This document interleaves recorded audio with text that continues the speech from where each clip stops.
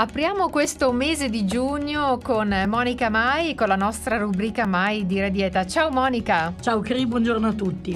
Allora, primo di giugno, mese nuovo, di che cosa mi parli oggi? Eh, oggi ti parlo della giornata mondiale dell'ambiente che ci sarà il 5 di giugno. Perfetto, come possiamo coniugare queste due cose? L'alimentazione e l'ambiente in realtà sono interconnessi perché quello che noi mangiamo, eh, che è una di, di attività che contribuiscono al cambiamento climatico del nostro, del nostro pianeta è estremamente importante.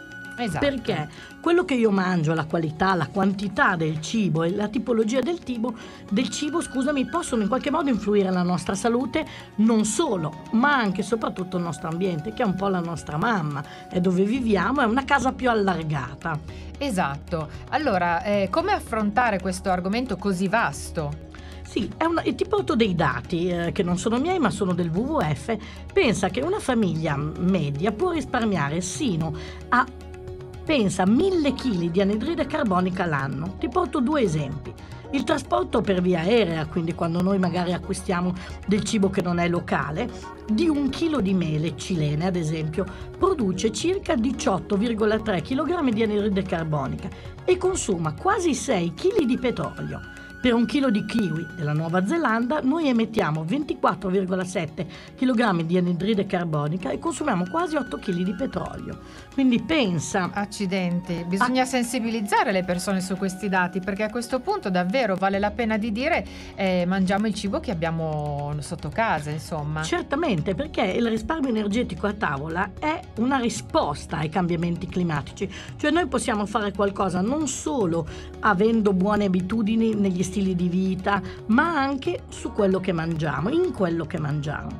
Infatti, perché si è andata a sensibilizzarsi è la, la, la, tematica perché sempre più persone nel nostro pianeta richiedono dei prodotti freschi magari anche bio e prodotti nel territorio in cui si vive per cui non devono percorrere grandi distanze con mezzi di trasporto per arrivare a noi è vero, è vero, ah, anche perché la globalizzazione ha portato sulle nostre tavole cibi provenienti dalle eh, più lontane zone del mondo. E questo da un punto di vista nutrizionale è anche buono perché abbiamo scoperto dei cibi che non conoscevamo, alcuni pensa alle bacche di goji ad alto potere antiossidante, però il fatto di trasportarle, io ti ho fatto l'esempio del Cile e della Nuova Zelanda, da paesi così lontani, contribuiscono non solo eh, all'inquinamento ma anche a quello che è il, la modificazione dell'ambiente intorno a noi. Ci sono però dei suggerimenti che noi possiamo, delle regole che noi possiamo applicare a tavola.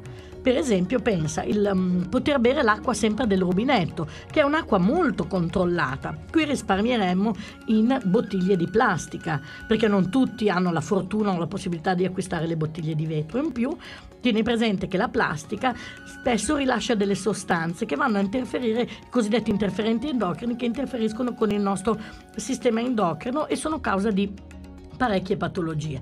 Ancora un'altra regola potrebbe essere quella di acquistare prodotti locali che non hanno necessità di grossi trasferimenti su ruote o aereo, quindi i prodotti cosiddetti a chilometro zero. Sì, scusa, adesso mi venivano in mente due prodotti che tu hai citato, i kiwi e le bacche di goji. Le bacche di goji so che le, già anche alcuni produttori in Italia stanno eh, iniziando a produrle e i kiwi, insomma, noi siamo i maggiori produttori Assolutamente sì, anche la nostra zona, infatti. Io ti ho, ti ho portato quell'esempio perché in realtà eh, è, è, vero che è un prodotto della Nuova Zelanda, però anche il nostro territorio è un ottimo produttore di, di kiwi.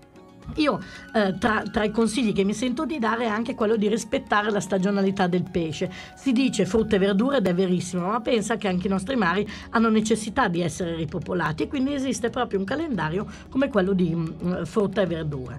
Privilegiare i cibi biologici perché hanno un metodo di coltura non inquinante, ridurre gli sprechi alimentari, ma anche magari acquistando dei prodotti con poco scarto. Certo, e questo è molto importante. E quindi insomma io spero che questo, il nostro verbo venga diffuso più che mai e che le persone vengano sensibilizzate il più possibile da questa cosa. Speriamo davvero. Grazie Monica per il tuo contributo. Alla prossima. Grazie a voi e buona giornata dell'ambiente. Radio.